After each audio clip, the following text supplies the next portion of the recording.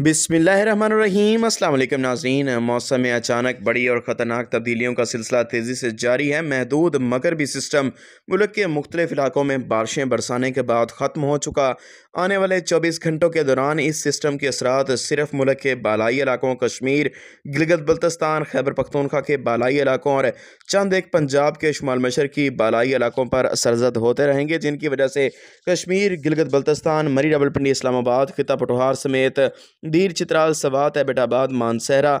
और खैबर पख्तूनखा के चंद एक बालाई इलाकों में गरज चमक के तूफ़ान बनने और बारिश का इम्कान मौजूद रहेगा, जबकि लाहौर, फैसलाबाद समेत पंजाब के दीगर तमाम इलाकों कोयटा समेत बलोचिस्तान, कराची, हैदराबाद समेत सिंध भर में मौसम खुश रहने की तो दिन के दर्जा रात में आने वाले दिनों में रोज़ाना की बुनियाद पर इजाफा होगा और गर्मी की शिदत भी काफ़ी तेज़ होगी, जो कि फ़सलों और किसानों के लिए नहायत खुशाइंद बात है। पंद्रह अप्रैल तक मुल्क के बेशतर इलाकों में मौसम खुश रहेगा। ग्यारह अप्रैल के दौरान एक महदूद मगरबी सिस्टम की दोबारा वापसी होगी, जिसकी वजह से मुल्क के मुख्तलिफ़ इलाकों में बारिश का इम्कान है। तहम ज़्यादातर इलाकों में इस दौरान भी मौसम खुश रहेगा। अप्रैल के आखिरी दस से बारह रोज़ के दौरान मुल्क के मुख्तलिफ़ इलाकों में बारिशों के शदीद तरीन मगरबी सिस्टम एक दफ़ा फिर इंट्री करेंगे, जिसकी वजह से कराची तक कश्मीर तूफ़ानी बारिशों का इम्कान ईद भी ठंडी होगी। इसलिए किसान और शहरी मोहतात रहें। हाजिर होंगे नई रिपोर्ट के साथ। इजाज़ दीजिए। अल्लाह हाफिज़।